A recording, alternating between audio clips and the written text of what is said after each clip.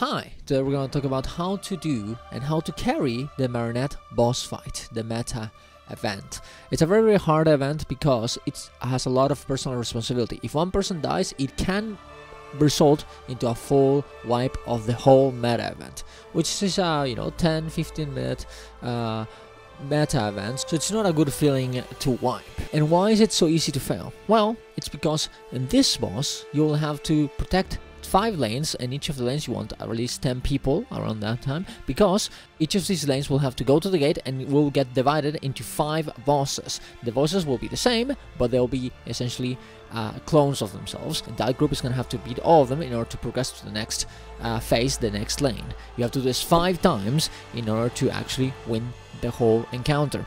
3 fails if you're very good at protecting the gates because each time of one of those ads gets to the gate the bar progresses a bit, uh, a bit much, and two, uh, or maybe even one, if you're very bad at uh, protecting the gates, especially because if the big champions, uh, the nightmare champions, go to the gate, uh, you will lose a lot of progress, and uh, you and you don't want that, right?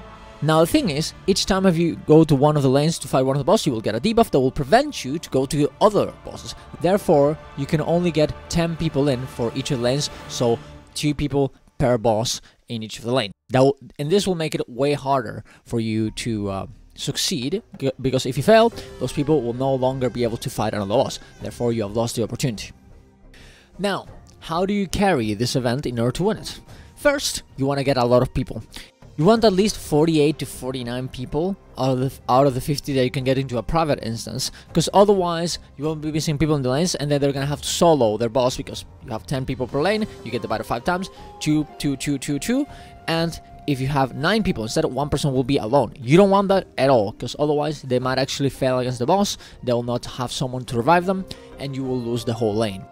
Now, you could also do it in public to get more than 50 people, but here's the problem. If you go to public, and you can, as a squad, uh, if one person goes to the private one, they'll create an instance, and that private instance will be prioritized, will be shown instead of the public one when people join Eye of the North. Therefore, it'll be very, very confusing for most people, and uh, and most people will eventually end in the private instance instead of the public one, not knowing what to do.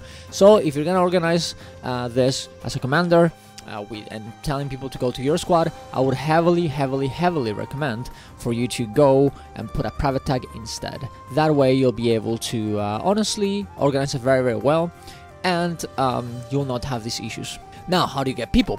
I would heavily recommend going to core maps uh, like Divinity's Reach, Lion's Arch, uh, Eye of the North, uh, or HOT maps like Verdant Brink because these maps are full of new players that actually want to participate into these course events. Marionette is core. You don't need a Living World season. You don't even need an expansion to do it. So getting as many people, even if they're uh, new players, it's a great idea. The mechanics are not even that hard. As long as you explain to them, you probably will be fine. Now, while you're getting people, you should organize the squad into five subgroups. One from lane 1, 1, 2 for lane 2, 3 for lane 3, 4 for lane 4, 5 for lane 5. That way you have each of the subgroups for each of the lanes, it has a number by it, so people will understand it. You probably should tell them either way, sub 1, lane uh, numeral 1, sub 2, lane, uh, lane or numeral 2, and so on and so on, because some people get confused with the numerals, might as well just explain it. You should also do slash 1 in the squad chat, in the squad broadcast, and type, if you see this, you should be in lane 1, then go to slash 2, uh, if you see if you see this, you should be lane two, blah blah blah, blah and so on and so on. And you will act, and those messages will only broadcast to the subgroup that you put on. If you go slash one it'll go only to, to uh, subgroup one. If you go slash two for subgroup two. So that way people will exactly understand where they should go. And you will have less people going to the uh, to the wrong lane, which honestly can bruise a wipe if you don't have enough people in each of the lanes and uh, one person has to fight alone one of the bosses. Now, even if you tell everyone to go to the correct lane, some people will actually miss this and will go to the wrong lane and they will leave some lanes with 9 people instead of, of 10, which will make one person solo one of the bosses. What do you do then? Well, there's one way to prevent this. As a commander, and honestly, other people can do this too, and you can tell them to do this, but as a commander, you should definitely do this, is that you should go to, let's say you're lane 4, you should probably be in lane 4. Well, actually, what you can do is go into lane 1, even at the start, even though that's not your correct lane, see that everyone in the lane uh, gets in and that you get 10 people on the bosses, so two per uh, mini boss in the lane.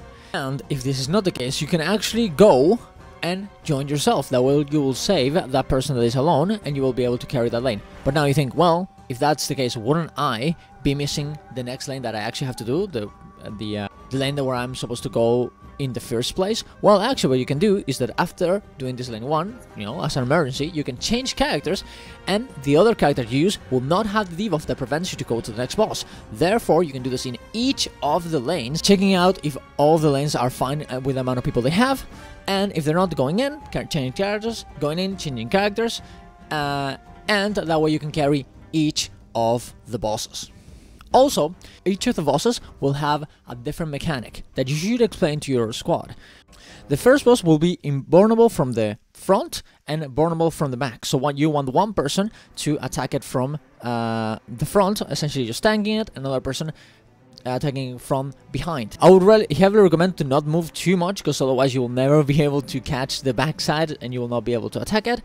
And you can also use pets like mechanists or rangers to actually tank the boss and that way you can actually solve it pretty uh, easily. That For that reason I would heavily recommend to have in sublane 1 most uh, of the mechanists in the group and most of the rangers in the group.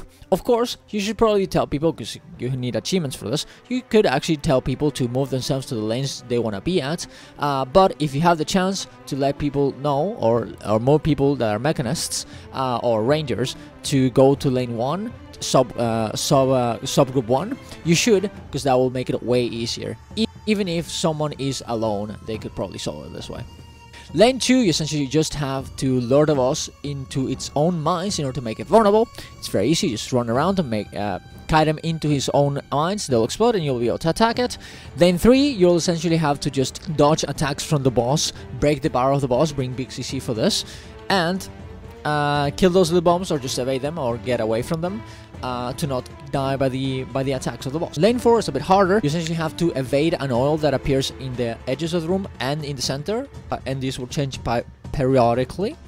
And uh, you will also have to dodge or aegis or completely just run away from this missiles boss launches towards you. Any of these things will one-shot you, so you want to be sure to evade them. And while you're doing this, just attack the boss and you will be fine. Now, here comes the hard part. Boss 5. This boss is actually pretty hard. What essentially will happen is that you will have one mob that is pretty easy to kill, but then this mob will divide into two. And then when you kill one of them, th that one will divide into two. And then that one and those two ones will divide into two again. Uh, so eventually you'll get a lot of mobs attacking you. So what I would recommend? First, you should probably bring blinds, CC, survivabilities, movement, anything that makes you survive a bit more uh, being raised is actually pretty nice here because you can just kite them down while you're attacking it. Be sure to revive your friends if they go down. And I would heavily recommend to, whenever they divide, kill, focus on one of them. And the ones that come out of that one, because otherwise you will attack both, they will multiply, multiply, multiply, and you will get overwhelmed. Focus on one of the ones and the ones that come out of that one, that way you will be fine, you will not get overwhelmed, and then you go to the next one.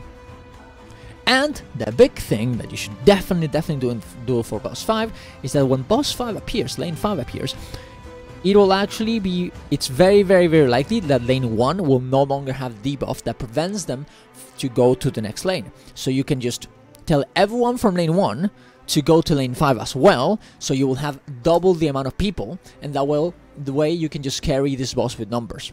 If you do this, I would recommend to tell the other lanes, lane, uh, the other lanes that are not doing the bosses, to send one or two people to lane 1 so they can, you know, replenish and protect the lane in just in case they fail. But usually when you do this, it'll be fun and you will be completely okay. Uh, you'll defeat the boss, you'll win the fight. Awesome. Also, remember guys, to kill the regulars after you kill the bosses, because if you don't do this, the fight will not end you will not succeed the lane.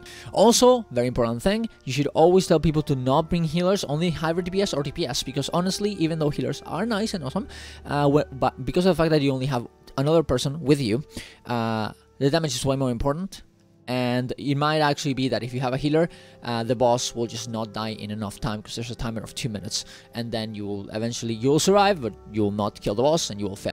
Another good trick for any of the bosses is bringing them down, bringing them to the edges of the circle. That way, the other lanes can actually help you with it uh, and attacking it with AOE's a little bit, and actually heal you as well if you put yourself there. Also, uh, there's when you win one of your uh, one of your circles, one of your bosses, you'll be able to cheer uh, to give boons and different things to the uh, your teammates trying to kill the boss. Now, what happens if you fail one of the lanes? What will happen is that if, for example, let's say you fail lane 1, boss 1, that's the first boss. What will happen is that boss 1 will now be in lane 2. Then boss 2 will appear in lane 3, boss 3 will appear in lane 4, boss 4 will appear in lane 5, and boss 5 will appear in lane 1. Therefore, everything will get delayed. If this happens, just move everything one more lane again. Just move everything one lane further and everything will be fine. I will also leave some copy pastes in, in the description for the Marionette guide, for the Marionette, and a, guide, a written guide that we put in Hardstuck.gg. So go check them out. Now, that is all the mechanics of the boss. If you have any ideas that I honestly I missed, or any other things that you want to say, any questions or anything, we do this. You can you can put them in the comments below, or subscribe to my channel on Twitch, or follow there, subscribe here, ask me questions while we're live. When we're doing this every weekday, ask me and uh, and come to join whenever you want. I will be happy to help. Have a good one, guys. Subscribe to the channel, and bye bye.